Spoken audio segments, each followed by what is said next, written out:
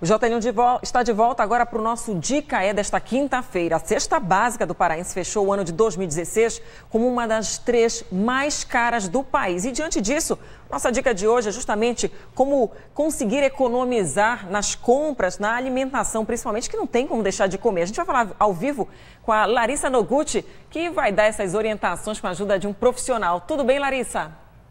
Oi Priscila, tudo bem? Boa tarde para você, boa tarde a todos. Olha, a maioria das pessoas já chega no, super, no supermercado super preocupado. Nossa, vou gastar quanto nessa compra? A Marineida Góes, que é pedagoga, mas também é dona de casa, gasta quanto no supermercado por mês? Ah, em média, mais de mil reais, porque além das, das compras de supermercado, você tem que ir à feira, é, finais de semana, uhum. e comprar verdura, legumes, e tem criança em casa. Você, você sente no orçamento esses mil reais só de supermercado, né? Sinto, com certeza. O que, que você faz para economizar? Bom, a gente faz substituição. Tira pão pela tapioca, a macaxeira. Uhum. A gente procura procurar alternativas que tem gastar menos e se alimentar bem. É, e tem ter, a gente procura também um valor nutricional, né? Porque a gente não sabe muito a respeito disso. Uhum. Aí a gente quer saber mais alguma coisa. Aí a gente vai pelo que a gente tem né? pesquisando. É, pelo milho, é, tapioca. Enfim, outras coisas mais. Para a gente ter certeza se ela está fazendo o correto, Priscila, a gente chamou o Fernando Leite, que é nutricionista, tudo bem? Ela já está mexendo no orçamento em casa, também já está reestruturando essa mesa, essa geladeira para tentar economizar. Aqui você trouxe algumas dicas, né? Na prática, o que, que a gente pode trocar para se alimentar bem mais barato? Geralmente, bom, quando a gente vai pensar em trocar, a gente tem que pensar em equivalência. Por exemplo, no caso do pão, a pessoa fala o pão é barato. Não, o pão, o quilo do pão é mais caro. Deve estar custando entre 9 a 11 reais. Então a gente tem a opção da tapioca, que serviria como um carboidrato também. A macaxeira, a mandioca. O, outras opções também que a gente tem é a crepioca, que é a mistura do ovo com a goma de tapioca. Isso é muito mais barato do que comprar aquele pãozinho quente todo dia de manhã. A gente substitui então pela macaxeira ou pela tapioca, também já melhora. Outra dica que eu gostei bastante, viu, Priscila, em respeito à farinha. A farinha tá muito cara mesmo. E aí a dica é substituir por quê? A farinha a gente pode substituir ela pela, pela fécula de, do, do milho, pelo que faz o cuscuz. A gente faz facilmente uma, fa, uma farinha feita com esse cuscuz. Faria o cuscuz e acrescenta ele. Em vez de acrescentar o doce, que a gente acrescenta geralmente o leite de coco, o coco ralado, a gente acrescentaria a cebola, o sal, a manteiga. Deixa mais saudável também. Deixa mais saudável, porque é o milho. Diferentemente, aí não irá fermentar, como as pessoas geralmente reclamam, ah, eu fico empachado porque eu como a, a, a, farinha, não, o milho vai te dar essa sensação de maior saciedade também, mas sem sentir aquela sensação de peso, de inchaço. a gente colocou aqui o leite líquido e o leite em pó. É bem mais prático, por exemplo, o leite líquido, só que ele é bem mais caro no supermercado. Sim, quando você pensa aí, o leite líquido, ele, a praticidade nele é incomparável.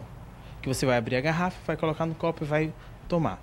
Quando a gente pensa no preço, um pacote de 400 gramas de leite, ele faz em torno de 3 litros e meio a 4 litros de leite de qualidade. Rende mais. Rende muito mais. E o preço é equiparado. Um pacote de leite está custando 3 reais. Um pacote de leite em pó, 4. Então, nessa comparação, é mais em conta a pessoa que está em casa trocar o leite líquido pelo leite em pó. Outra dica é o feijão. A maioria das pessoas come feijão, arroz com feijão todo dia e o feijão está super caro. Qual é a dica? A primeira dica para quem está em casa é pesquisar primeiro ela tem que pesquisar o produto que ela está comprando. Será que ela então está comprando um outro mercado mais barato? Será que ela consegue encontrar uma promoção no feijão? Caso ela não consiga encontrar um preço melhor nesse feijão, ela pode fazer o seguinte: vai procurar outras opções, que no caso a gente tem o feijão carioca, o feijão rajado, outros feijões que são mais em conta, diferentemente do feijão preto. A gente tem a lentilha. A lentilha ela é uma leguminosa da mesma família do feijão. A gente pode consumir ela da mesma forma que o feijão, só que ela é mais rápida de cozinhar e ela rende muito mais, porque você não vai consumir uma grande quantidade de lentilha. Você vai misturar ela com o arroz e vai ter uma quantidade boa. A e gente... falando em arroz, já que acompanha o feijão, o arroz também tá caro, né? Como é que eu posso substituir? O arroz a gente pode fazer a troca do arroz pelo macarrão, que o macarrão rende muito e o preço do macarrão é inferior ao preço do arroz, quando a gente está pesquisando hoje no mercado. E a gente tem também a batata, que também pode estar trocando, além também do, da própria fécula de milho, que a gente pode estar trocando. Então a gente tem a opção do arroz, a gente tem a troca de vários equiparados para conseguir um preço melhor. Agora, para a gente fechar aquela sobremesa com uma fruta, olha, a gente tem banana, mamão, melão. A banana tá super cara no supermercado. Um pouquinho que você leva já é 5, 7 reais. Tem gente que não tem condições de comprar isso todo dia. Como é que a gente pode substituir as frutas? As frutas, a gente está numa região tão rica em variedades de fruta. Então, não necessariamente você tem que comer a banana todo dia. Você tem o mamão, você tem a melancia, você tem quantidade de fruta que pode estar trabalhando aí, estar consumindo, todo dia variando. Não somente a banana, vamos sair da rotina de só consumir a banana, porque hoje o preço de banana não está barato. Uhum. Agora sim, a gente sempre fala nessa questão nutricional, porque dá para comer melhor, né, com o mesmo valor nutricional. Tanto também a soja, que é uma proteína, dá para trocar? Dá. A soja a gente pode trocar ela tanto pelas carnes, quando a gente coloca aí uma carne, uma uma carne vermelha ou um frango, a gente também pode substituir pela soja e também o feijão. A gente pode trocar o feijão no lugar da soja. Eu é posso é... misturar, por exemplo, aquela carne moída com a soja, continua com o mesmo valor nutricional, até enriquece, né? Sim, quando você mistura a soja numa carne, você acaba agregando valor a essa carne. Você acaba fazendo com que a carne ganhe um valor nutricional melhor.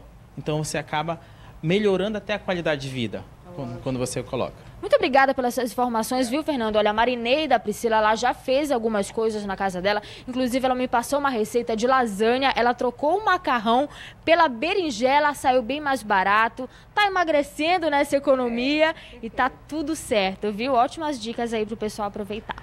Dicas maravilhosas, Larissa. Muito bom saber que tem tanta variedade, tanta coisa bacana. Obrigada pelas informações aí do nutricionista, a pedagoga que abriu a casa. Muito bacana mesmo saber que a gente pode realmente economizar e se alimentar muito bem. Você revê essas dicas todas aí que são valiosíssimas no dia de hoje na nossa página no G1 Pará.